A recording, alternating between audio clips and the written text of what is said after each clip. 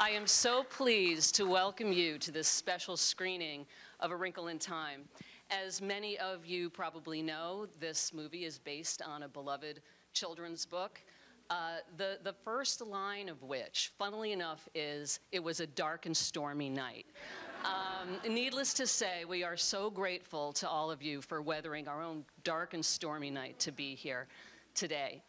Um, so while the beloved children's story uh, was published in 1963, uh, believe me when I tell you the movie that you're about to see is A Wrinkle in Time for all time. Um, it's you know been boldly reimagined by one of the most potent filmmakers working today, uh, whether it's Selma or 13th or uh, Queen Sugar. Um, she has proved herself to be a master storyteller. Um, and now with this movie, she has become the first woman of color to helm a movie of this magnitude and this, and this scale. The great, the game-changing, the history-making Ava DuVernay.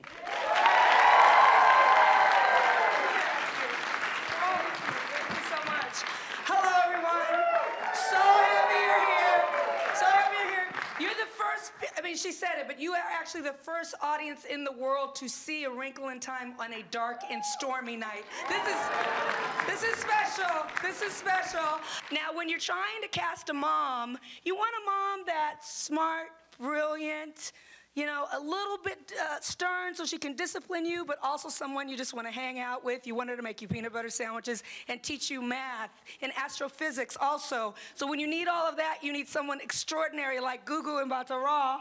Come on out. You need someone like that. Mrs. Who, she speaks only in quotations, which is a really hard piece of uh, business to do in a film because you don't have a lot of lines. So you need someone who has comedic timing and who's elegant and who can bring class to a part with not a lot of words. And that was Mindy Kaling who did that for us.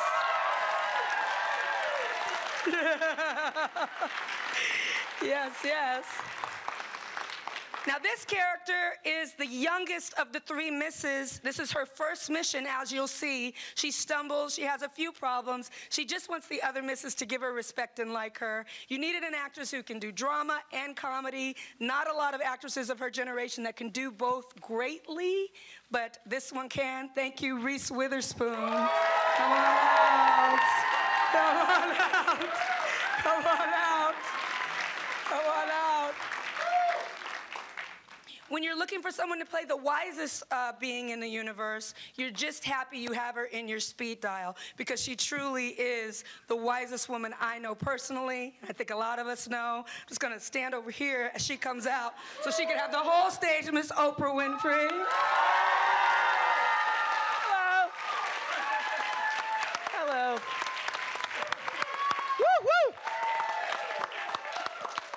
Thanks for coming out on this dark and stormy night. It's my first nor'easter. I'm so excited. Um, thank you for being a part of this great experience. It's been one of the great joys and delights of my career and actually my life to be a part of this film. Uh, I started out as a friend of Ava's and then became friends with everybody up on the stage. It was one of life's great experiences. And uh, as Ava has been prone to say, that you can see love in every frame of the film. And you can see the love because we all experience love every day, working together, on set, in the trailer, off, yakety yakking all the time uh, about what we were doing and uh, what we were planning on doing in scenes. And so thank you so much for supporting us. This would not be a film without its center lead a young girl who I just have such enormous respect for, whose life is about to burst wide open once everyone sees this film. Her name is Storm Reid. She's our golden girl, Storm Reid.